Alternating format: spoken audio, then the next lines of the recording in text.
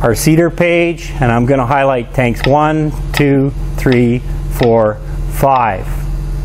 New software allows me to drag them around back and forth.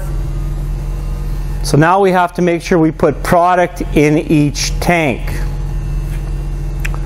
So I can either shrink or expand each of these by touching the blank portion here.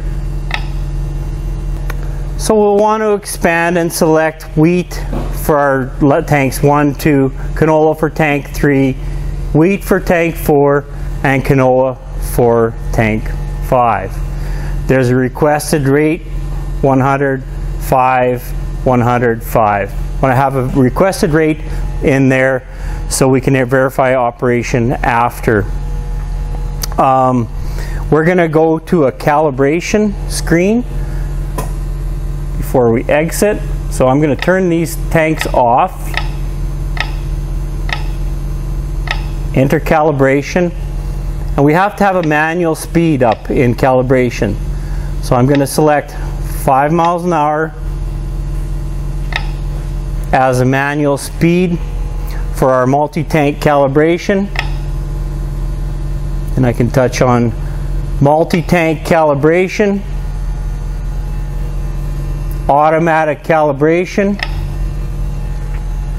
brings us to a wizard. We're gonna see this like this. We can either touch the virtual touchscreen to turn the individual tanks on or the switch box in the cab or the switch box on the tank. So three different ways to turn on those switches to enter calibration. We're going to move over to um, our tank shortly. First we have to make sure we have oil running to the system. I'm going to power up the remote so I'm linked to the control for the valve. So I can divert oil to the conveyor, to the calibration circuit, or have the fans running.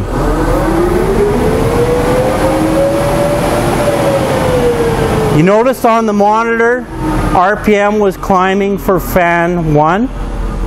Because it's noisy, we're going to leave it off for now.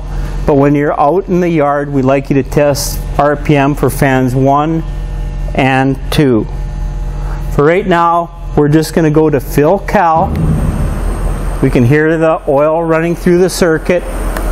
Now we've got oil diverted to our metering circuit we're going to test the function of each tank to make sure each one is controlled by the switch box appropriately. So we've got tanks 1, 2, 3, 4, and 5. 1, 2, 3, 4, and 5. We're going to engage the master. Now all of our tanks are turning. We're going to turn them off one at a time to verify that each one is controlled properly. Tank 1, Tank 2, Tank 3,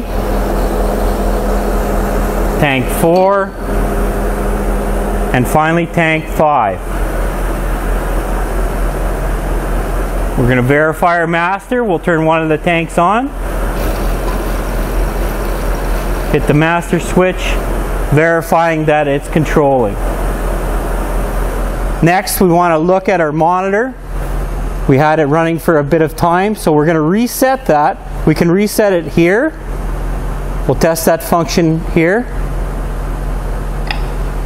To reset, to start another calibration. We can turn our switches on in the tank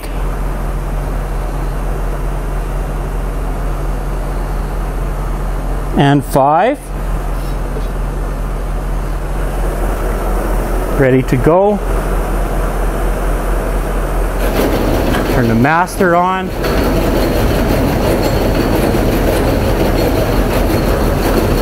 master off. Now we're going to want to verify that we can reset from the tank. There's a reset button on the tank. Press it till the green light came on. And our estimated weight should be gone. Strongly recommend playing around with this to help you get comfortable with calibration. Calibration is one of your most important functions and the more time you spend working with this, the easier it'll be. So we're going to exit this calibration